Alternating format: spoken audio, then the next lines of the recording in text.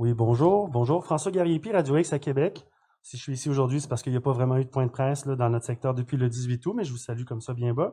Ma question est la suivante. C'est dans les derniers jours, le docteur euh, David Navarro a envoyé, envoyé spécial de l'OMS a déclaré que l'organisation ne conseille pas que le confinement, euh, ne conseille pas le confinement à moins de dernier recours. Aussi, plus de 20 000 médecins scientifiques euh, demandent par la déclaration de Great Barrington qu'on protège les gens à risque et qu'on laisse les autres vivre normalement. Euh, est-ce qu'il est temps de revoir peut-être les stratégies ou est-ce qu'on on peut envisager un rouvrage du Québec, on va dire comme ça, le 23 ou même le 28 octobre prochain? Bon, euh, d'abord, je vous cacherai pas que j'ai de la misère avec vous, Monsieur Radio X, et euh, 28 décès aujourd'hui, euh, c'est, ce sont des vrais décès.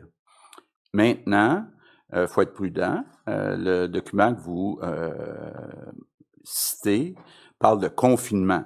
Et puis, comme je l'expliquais tantôt, on est très, très, très, très loin du confinement du printemps, là, où on avait fermé euh, toutes les écoles, puis à peu près toutes les entreprises. Là, pour l'instant, ce qu'on a fermé, c'est les restaurants, les bars, les salles de spectacle, certains sports collectifs.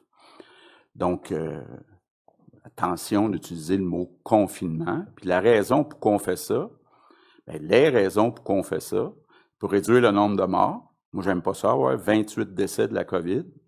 Pour sauver notre réseau de la santé, parce qu'on approche du 500 personnes hospitalisées, ça, ça fait 500 euh, lits. Euh, les infirmières s'occupent de ces 500 personnes-là au lieu de faire des chirurgies.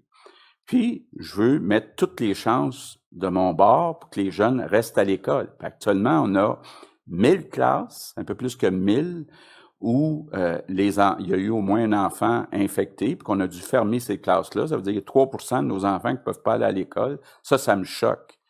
Et euh, moi, j'invite Radio X là, à euh, demander à vos auditeurs de respecter les consignes. C'est ce qui est fait tous les jours, monsieur? Euh, le premier ministre. En fait, juste en dernière question, en complément, en fait, vous avez parlé tantôt que ça arrivera jamais ici au Québec qu'on ait un couvre-feu, mais dans les faits, euh, c'est pire d'avoir la zone rouge. Les restaurants sont pas ouverts pour la plupart des, citoyens. C'est plus il y a une contrainte euh, qui est plus marquante avec une zone rouge qu'un couvre-feu. Donc, on a la certitude que jamais il y aura de couvre-feu ici au Québec? Bon, d'abord, on pourrait euh, parler de ce qui se passe en France dans certaines zones, puis dans beaucoup de pays, beaucoup d'États. Euh, les restaurants, les bars sont fermés.